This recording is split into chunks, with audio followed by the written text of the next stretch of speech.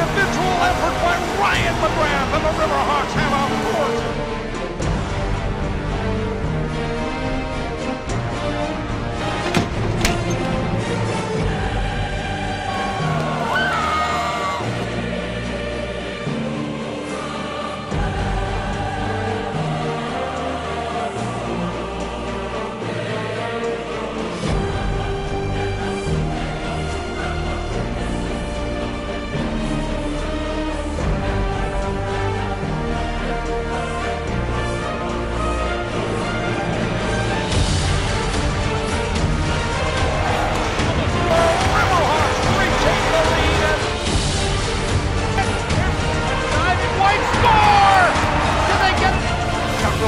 right track, Wilson towards the net. Fire!